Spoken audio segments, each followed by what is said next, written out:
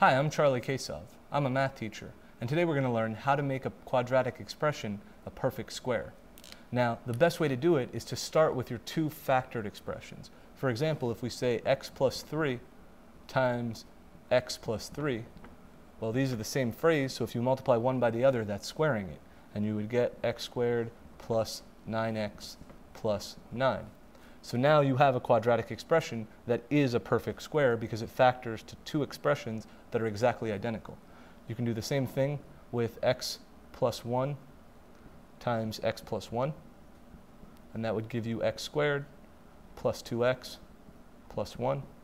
You could do that with x minus 1 times x minus 1, and that would give you x squared minus 2x plus 1.